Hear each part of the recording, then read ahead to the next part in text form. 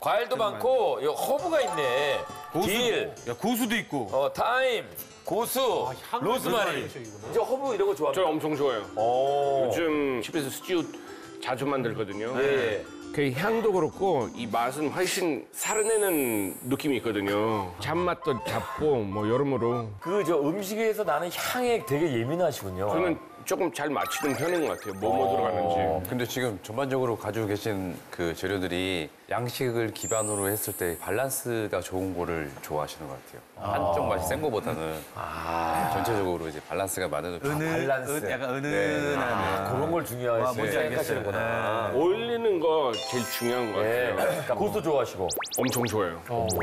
전 진짜 그거 뭐지 살국수나 막 이런 거 먹을 때 예, 예. 고수 없으면 못, 못 먹을 야, 정도. 외국인 김보성 씨네. 야, 이- 자 그리고 채소도 많이 좋아하시네요. 종류가 많은데 네, 우리 집에서 채소 엄청 먹어요. 이 중에서 그 제일 좋아하는 채소 전 달래. 달래. 달래요?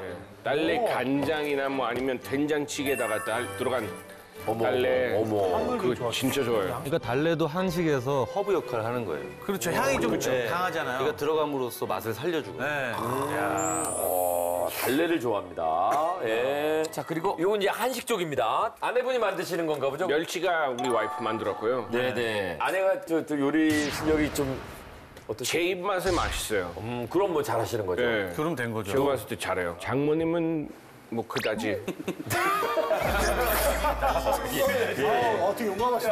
그지 안 하셔도 되는 얘기를. 네, 같이 사니까. 솔직하게 가감 없이. 예. 명이나물. 명이나물 저는 되게 좋아요. 아 좋아요? 명이나물 깻잎.